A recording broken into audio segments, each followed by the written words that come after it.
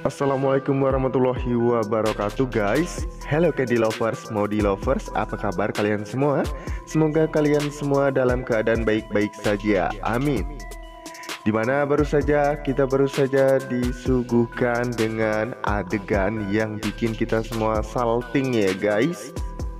Di mana Rama yang berkemungkinan di adegan selanjutnya bakalan berhasil untuk rujuk kembali bersama si Vanessa nih guys dan di adegan sebelumnya juga Rama sempat dikerjain oleh segerombolan si Andi ya. Dan di mana saat ini Maudi juga sudah mempertanggungjawabkan perusahaan Papa Argadana terhadap dirinya. Maudi yang saat ini, ini menjadi uh, perwakilan dari Papa Argadana karena Maudi sendiri saat ini mempunyai bakat yang sangat cerdas. Di mana di adegan selanjutnya juga nih guys, di mana Argadana yang bakalan bebas juga ya guys. Lantas apakah di adegan selanjutnya Tante Anita bakalan kena batunya sehingga si Tante Anita tersebut akan terjadi malapetaka terhadap dirinya karena dirinya sudah tidak ingin taubat.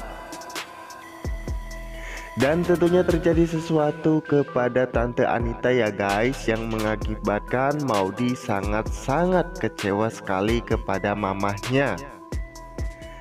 Di mana di adegan sebelumnya juga Andi yang sempat sengaja banget untuk menyuruh or seseorang untuk menumpahkan air ke bajunya Vanessa. Memang ini sih akal-akalan si Andi untuk bisa mencari muka di depan si Vanessa. Andi yang saat itu membelikan baju untuk Vanessa. Dan mungkin di adegan selanjutnya si Madina dan juga si Atar bakalan bersatu Pasalnya, saat ini Madinah benar-benar tidak ingin untuk tidak bertemu lagi dengan Atar. Ini memang benar-benar terbukti dikalau si Madinah tersebut sudah mulai jatuh cinta kepada si Atar. Lalu di adegan selanjutnya mungkinkah si Oma bakalan sangat-sangat marah dan ngamuk banget kepada si Emily Nah guys sebelum lanjut lagi alangkah baiknya ya bagi kalian yang baru nyasar di channelnya Mas Mimin ini. Silahkan tekan dulu tombol subscribe dan nyalakan lonceng notifikasinya ya. Serta jangan lupa berikan like-nya juga ya guys. Dan mungkinkah si Tante Emily bakalan kena semprot sama si Oma? Apalagi saat ini pertikaian antara si Anita dan juga si Haris bakalan terjadi nih guys Di mana si Anita saat ini benar-benar tidak ingin dikalau dirinya menjadi gembel ya? Karena saat ini kita ketahui bahwa Anita sudah tidak punya apa-apa. Pasalnya saat ini si Tangkurak Haris baru saja keluar dari penjara Dan si Haris juga bingung nih guys untuk tinggal di mana.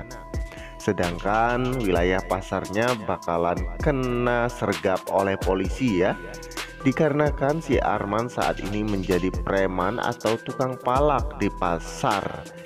Hingga saat itu ada orang yang melaporkan kepada Pak Polisi bahwa segerombolan Haris dan ketuanya si Haris tersebut sudah membuat tidak nyaman di pasar sehingga masyarakat pun bakalan melaporkan si Haris ke polisi lagi ya dan mengakibatkan si tangkurak Haris tersebut bakalan diseret kembali tuh guys sama Pak Polisi ya. Nah guys seperti biasa sebelum lanjut lagi Mas Mimin juga ingin tahu nih kalian penggemar sinetron Love Story The Series dari daerah mana aja? Silahkan absen di bawah kolom komentar ya. Agar tidak terjadi kesalahpahaman ya guys dan jangan lupa nih guys untuk selalu saksikan sinetron Love Story The Series yang tayang hanya di SCTV pada pukul 16 lewat 55 waktu Indonesia bagian Barat ya. Dan kita doakan juga nih guys buat para pemain dan para kru ya sinetron Love Story The Series agar selalu diberikan kesehatan, dimudahkan rezekinya, dipanjangkan umurnya dimudahkan segala urusannya. Dan mudah-mudahan di adegan-adegan selanjutnya di mana kita bakalan uh, mendatangkan maksudnya masuk ke bulan suci Ramadan ya. Tentunya bulan suci dan penuh berkah banget ya guys. Dan tentunya Love Story The Series bakalan pindah tayang ya. Kira-kira kapan ya? Tentunya selalu saksikan terus sinetron Love Story The Series ya guys. Dan jangan lupa untuk dukung terus channelnya Mas Mimin Sarmin ini agar menjadi channel gede seperti channelnya para tetangga ya. Dan kita juga bakalan disuguhkan dengan adegan-adegan di bulan puasa ini. Uh, adegan yang sangat mm, seru banget ya tentunya Di mana saat ini Wilantara juga bakalan mendatangi kantor polisi ya guys. Berkemungkinan Papa Wilantara ini tidak tega nih guys melihat uh, sokong bronya yaitu Argadana saat ini ada di penjara ya. Tentunya tidak rela banget nih sebagai besan yang bijaksana dan baik hati Mungkinkah si Wilantara bakalan membebaskan Argadana dari tuduhan sebagai Argadana sudah mencuri mobilnya Emily?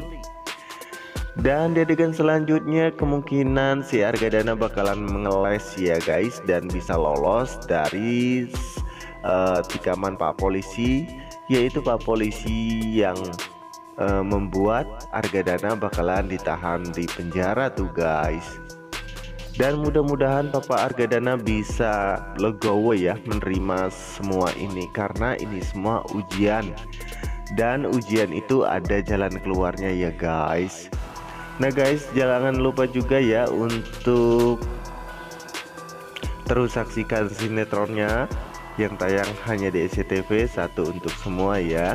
Dan di sini waktunya Mas Mimin pamit undur diri ya guys Apabila ada kesalahpahaman dan salah penyampaian, Mas Mimin mohon maaf yang sebesar-besarnya ya. Dan diakhiri ditutup wabillahi taufiq wal hidayah. Wassalamualaikum warahmatullahi wabarakatuh.